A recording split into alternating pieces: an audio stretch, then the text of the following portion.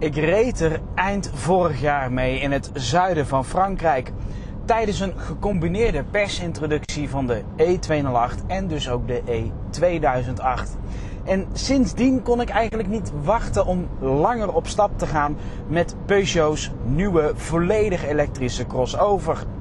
Een volledig elektrische variant van wat mij betreft een van de mooiste en fijnst rijdende crossovers in zijn klasse. De E2008 oogt net als de normale 2008, namelijk om je vingers bij af te likken. Maar met enkel het design en de rijeigenschappen red je het bij mij niet. En dat is dan ook de reden waarom ik de afgelopen week opnieuw heb gereden met de E2008. Nu kan ik eindelijk een goed oordeel vellen over het verbruik, de range en de rijeigenschappen van Peugeot's volledig elektrische crossover.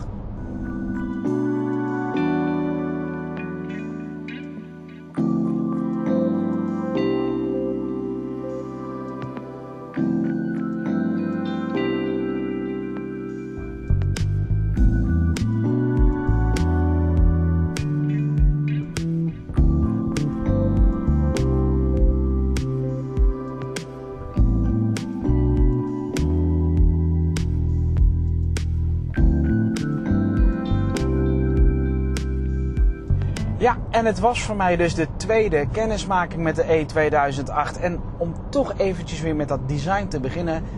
Wat is dit een goed smoelende auto zeg. Ongelooflijk. Uh, testexemplaar dat ik heb meegekregen. Een GT-uitvoering in Blue Vertigo Blauw. Ziet er echt fantastisch uit. Zeker met die mooie grill. Uh, die nu is belegd met uh, blauwe accentkleuren. Waardoor die als het ware niet helemaal dicht lijkt. Maar het eigenlijk wel is in vergelijking met de normale 2008. In dezelfde carrosseriekleur. Um, die mooie LED koplampen met die leeuwentanden. Ja, echt fantastisch om te zien. Er staat echt een goed smoelend stukje design voor je neus. Ook aan de achterkant met die LED-verlichting, met die klauwen van een leeuw, de mooie proporties en de mooie beleiding aan profiel. Ik ben er nog steeds erg van gecharmeerd. Het design zet zich ook aan de binnenkant voort in het interieur, met wat mij betreft een van de mooiste interieurs in dit segment een echt familielid van de nieuwe 508 en uiteraard ook de 208 met mooie materialen, een frivol maar ook weer heel erg chic gelijnd dashboard, eh, mooie soft touch carbonachtige afwerking hier op het dashboard, de pianolak in het midden, de mooie schakelaars eh, om voor het bedienen van de climate control, de alarmlichten uiteraard en dat soort zaken en dat hooggeplaatste 10 inch scherm hier bovenaan. Ook direct in het oog springend een echt Peugeot stukje design tegenwoordig. Die iCockpit met dat hooggeplaatste instrumentarium. Waardoor je beter je ogen op de weg houdt. En dat kleine, fijn in de hand liggende stuurtje. En ik heb het al vaker gezegd, doe het wederom. Dit is wat mij betreft een van de fijnste interieurs om als bestuurder vandaag de dag in te zitten. Dat kleine stuurwieltje dat lekker laag ligt, waardoor je dus die cockpit voor je neus hoger krijgt, waardoor je een goed overzicht houdt. Je wordt heel snel één met die auto. Fijn is ook die middenarmsteun die je naar voren kan schuiven voor een betere ondersteuning. De goede aflegruimte in het deurpaneel. Ja, het is gewoon een erg fijne ambiance om in plaats te nemen. De GT-uitvoering met zijn zwarte dakhemelbekleding zet de puntjes op de i wat mij betreft. En al helemaal dit mooie grote panoramische schuifkanteldak. Ja, en dan het rijden met de E2008. Ten opzichte van de normale 2008 is deze volledig elektrische versie uiteraard wel iets zwaarder. Maar ik moet zeggen, Peugeot heeft dat weight management goed op orde. En dan met zo'n best wel ruime crossover. Erg goed gedaan. Een teken dat Peugeot daadwerkelijk echt vanaf het begin al heeft rekening gehouden met de komst van een volledig elektrische variant. Dat dat accupakket goed gehuisvest kan worden, dat er een niet al te zware elektromotor is geplaatst, maar wel met behoud van bijvoorbeeld een 11 kW boordlader. Dat accupakket dat is 50 kWh groot en daarvan is effectief 45 kWh te gebruiken. De aandrijflijn wordt gevormd door een 136 pk sterke elektromotor die ook nog eens een koppel levert van bijna 260 Nm. Ja, en die 300 kilo extra gewicht, dat voel je uiteraard wel een beetje. Hij is net eventjes iets zwaarder dus qua handling, qua wegligging dan een normaal uitgevoerde 2008. Ook eventjes ervan uitgaande wat is nou eigenlijk het nieuwe normaal, volledig elektrisch of een auto met een brandstofmotor. Maar goed, het gewicht is dus voelbaar. Maar wat mij betreft niet op een altijd negatieve manier. Sterker nog, ik vind deze volledig elektrische versie van de 2008 misschien wel veel lekkerder rijden dan de normale 2008. En die vind ik eigenlijk al heel erg lekker rijden, want het is een van de fijnste, meest verfijnde auto's in zijn klasse wat mij betreft. Ja, en dat is dus ook zo bij deze E2008. Want dat gewicht heeft wat mij betreft ook zeker een positief effect op die wegligging. Hij voelt net even iets groter aan dan dat hij eigenlijk is met het bijbehorende comfort bijvoorbeeld, met bijbehorende soepele vering. Ze hebben dat heel erg goed voor elkaar. Ze hebben bij Peugeot gelukkig niet gezegd van joh, die auto is 300 kilo zwaarder geworden, maar we willen nog steeds de meest dynamische zijn in zijn klasse, dus gaan we hem veel stugger maken om hem fatsoenlijk te laten rijden. Nee, in tegendeel, ze hebben hem een heel rijk uh, gevoel gegeven voor die rijkwaliteiten. Hij veert lekker, hij ligt goed en stabiel op de weg. En enkel als je er echt voor gaat, dan voel je wel dat hij wat zwaarder is, dat het gewicht een beetje door begint te drukken. Maar het wordt nooit vervelend of bijvoorbeeld opvallend. Ik denk als je de gemiddelde bestuurder met deze auto laat rijden, dat ze het gevoel echt niet eens zullen merken. Vergelijk ik de rijkwaliteiten dan bijvoorbeeld ook met de zogenaamde premium broeder van Peugeot, DS, de DS3 Crossback E-Tens. Ja, dan moet ik zeggen, deze E2008 rijdt veel beter dan die DS3. Dan is de elektrische versie van de DS3 al de versie die je moet hebben voor wat betreft de rijkwaliteiten. De normale DS3, daar was ik echt niet over te spreken voor wat betreft de rijkwaliteiten en de verfijning in het onderstel. Maar deze E2008 rijdt echt weer een paar slagen beter dan de DS3 Crossback. Het is gewoon heel opvallend. Die DS3, dat zou de premium broeder moeten zijn van de E2008. De E2008 heeft de premium rij-eigenschappen. Zo is de cabine ook lekker stil, hoor je niet veel afholgeluid van de banden, is dus ook die isolatie erg goed op orde. Ja, en zeker op slecht wegdek is het haast een uitmuntend comfortabele en verfijnde auto te noemen. Ik reed van de week ook met de videoshoot. Ik had wat beelden geschoten. Ik kwam uit bij een, een, een, een weg met, met kiezelstenen.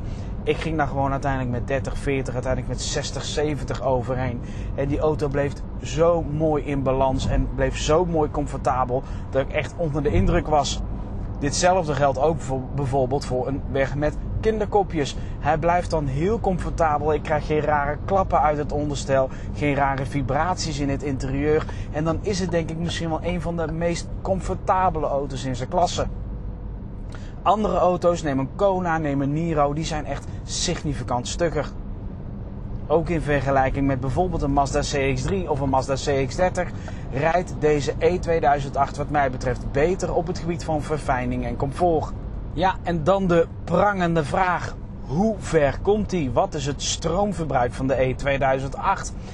Ja, dat, dat blijft een beetje een tricky ding, want die PSA volledige elektrische aandrijflijn, die heb ik dus al eerder gereden in de DS3 Crossback E-Tens en in de Opel Corsa E. En daar kwam die al niet echt naar voren als een van de meest efficiënte in zijn soort. Zeker niet vergeleken met de benchmark Hyundai en Kia, die echt laten zien dat een volledig elektrische auto met een best vermogen toch heel efficiënt kan zijn. De PSH-aandrijflijn die heeft daar wat meer moeite mee. Gelukkig is het echter wel zo dat PSH genoeg kilowatturen mee kan nemen en dat verzacht de pijn een beetje. Want het praktijkverbruik van deze E2008 gemeten over dik 850 kilometer, dat bleek dus uiteindelijk een gemiddeld te zijn van 17,7 kilowattuur op 100 kilometer. En dat komt in de praktijk dus neer op een range van ongeveer 240 kilometer op een volledige acculading. Ik heb dan ook een mooi gemixt traject kunnen rijden over die aantal testkilometers. Behoorlijk wat snelwegkilometers, heel veel stadskilometers, 80 wegen, 100 wegen en ook s'avonds gewoon 130 km per uur. En je ziet dan wel behoorlijke verschillen met die auto. Zeker als je onder de 100 km per uur of max dus 100 km per uur rijdt, dan blijf je wel enigszins beneden die 20 kWh op 100 km zitten. Net als nu het traject van Brabant naar Amsterdam. Ik had nog een halve accu. Ik had zoiets van dat moet ik makkelijk redden. Ik heb de boordcomputer wederom gereset en hij geeft nu aan dat ik de afgelopen 90 kilometer een gemiddeld verbruik heb van 16,5 kWh op 100 kilometer. Dat is nou wel een aantal stukken waar ik ook maar 80 mocht rijden. Dus dat is wel eventjes iets om rekening mee te houden. Maar over het algemeen vind ik dit een keurig gebruik. Om dat weer eventjes in een perspectief te plaatsen. Dat is hetzelfde verbruik als de Honda E noteerde bij zo'n vergelijkbare rit. die is dus echt significant schadelijker gezien het segment auto, gezien het vermogen in vergelijking met deze E2008, waarmee we toch echt te maken hebben met een ruime crossover. Blijf je in stedelijk gebied, rij je veel korte afstanden, ga je niet harder dan 80 km per uur, dan zou je enigszins op één acculading 270, 280 km moeten kunnen redden. Gemiddeld genomen kwam ik ongeveer 240 kilometer ver dus op één acculading met die E2008. En dat is dus ja, als we echt gaan kijken weer naar de benchmark qua techniek, qua verbruik, een stuk minder ver dan bijvoorbeeld de Hyundai Kona Electric doet met slechts 39 kWh in zijn accupakket. Daarmee kom je dus verder met minder kilowatturen. Maar ik moet dan wel eerlijk zijn, deze E2008 qua rijeigenschappen, qua verfijning aan boord, qua interieurdesign en dat soort zaken, is dan weer echt een stapje omhoog ten opzichte van die Hyundai. Dus daar is het echt wat zwaarder weegt. Qua techniek zou mijn keuze zijn de Kona 40 kWh. Qua interieur en rijeigenschappen weer absoluut deze E2008. Een ander argument om deze E2008 te nemen, dat zijn de laadfaciliteiten. Want de E2008 wordt geleverd met een 11 kW boordlader. En dat is dus een best wel sterke boordlader, waarmee die ongeveer 4 à 5 uur weer volledig is opgeladen. En hij kan met 100 kW snel laden. En dat is fijn, want het geconditioneerde accupakket met vloeistof, dus het wordt verwarmd of juist gekoeld, waardoor je meerdere malen achter elkaar gewoon kan snel laden zonder dat die accu te heet wordt, ehm, kan dus met 100 kW worden snel geladen. En dat betekent dus dat je met deze E2008 in ongeveer 25 à 30 minuten weer een voor 80% gevulde accu hebt. Dat is erg prettig in de praktijk en dat zorgt er dus ook voor dat je met deze auto, wat mij betreft, laten we zeggen om de 220 kilometer, prima op vakantie kan. Koffiepauze, plaspauze en je rijdt weer lekker verder. Geloof mij, als je zo'n rit gaat doen, dan is het echt niet erg om om die 220 kilometer heel eventjes te stoppen aan een snellader en weer verder. Je moet alleen eventjes ja, je mindset veranderen. Doe je dat namelijk, dan geniet je ook nog eens van een hele fijne reisauto. Met een stille cabine, fijne stoelen, goede technieken als een deugdelijk werkende adaptieve cruise control en level 2 autonome technologie. Centreert je op jouw rijstrook. Op de langere stukken is dat heel erg comfortabel. En je geniet ook van een uitstekend klinkend audiosysteem. En je geniet ook nog eens van een navigatiesysteem dat alle laadpalen in de omgeving laat zien. Wel is het jammer dat je die laadpalen, de actuele status, die kan je er niet van inzien. En dat vind ik wel een dingetje. Bij een Tesla bijvoorbeeld, bij een supercharger kan ik op afstand zien hoeveel van die palen zijn bezet. Terwijl ik hier A moet zoeken naar een supercharger en B ik kan dus de actuele status van bijvoorbeeld een normale laadpaal niet inzien. Ook fijn in de praktijk de Peugeot app die bij de auto hoort. Daarmee kan je op afstand bijvoorbeeld al een route naar de auto zenden die je op voorhand hebt uitgestippeld op jouw telefoon bijvoorbeeld. En je kan de auto preconditionen. Je kan dus zeggen, joh, breng lekker die temperatuur op 20 graden in de auto en je stapt in een verwarmde of juist gekoelde auto. Ook kan je op afstand zien wat hij doet qua laden, het aantal kilometers per uur dat erin gaat en of hij überhaupt wel aan het laden is. Een timer instellen om gebruik te maken van een gunstiger stroomtarief, dat is ook mogelijk via die app. En ja, de E2008 is mij de afgelopen testweek dan ook bijzonder goed bevallen. Het is een erg plezierige auto om mee te rijden. Ik vind het een mooie auto, al is dat natuurlijk weer subjectief. Het fijne interieur is een genot om in te zitten op de fijne stoelen, het fijne in de hand liggende stuurwieltje. Het zijn zomaar eens van die zaken waarvoor je echt kan zwichten voor die 2008. Ook als volledig elektrische versie. Qua verbruik, ja, dat is wel een dingetje. Net als bij de DS3 Crossback E-Tense en net als bij de Opel Corsa E.